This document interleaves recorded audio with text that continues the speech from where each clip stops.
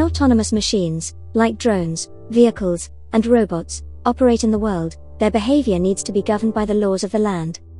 However, there's been no way to translate legal text into machine readable code, so that autonomous systems can operate under the most up to date legislation. Until now, Hyperspatial Modeling Language, or HSML, is a spatial web standard, developed at the IEEE.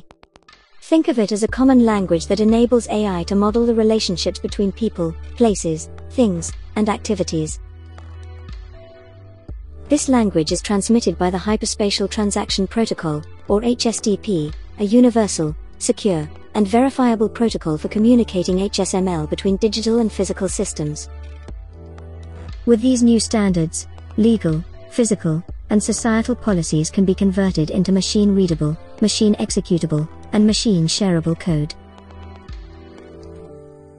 At the European Union's Flying Forward 2020 project, self-governing drones using spatial web standards, and VERSES cognitive computing platform, successfully flew their mission in compliance with regional laws and policies.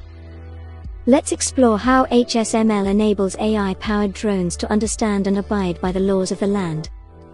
This process begins with syntactic parsing and pattern recognition, which identifies time, activities, users, domains, and space in unstructured legal text. The HSML output, transmitted with HSTP, is what enables the AI system to direct the behavior of a drone in real time. Geofencing, waypoints planning, and dynamic routing facilitate the creation of flight corridors, no-fly zones, and other constraints. Weather conditions, physical obstacles, and legal policies such as maximum altitude, speed limits, and validated flying credentials are accounted for in real time. Flying Forward has been considered a landmark success, setting the stage for all types of AI-powered autonomous vehicles to one day self-govern.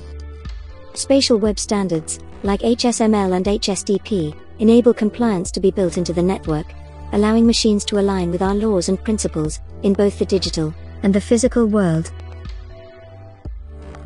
To learn more, visit www.verses.ai and download our landmark report on the future of AI governance.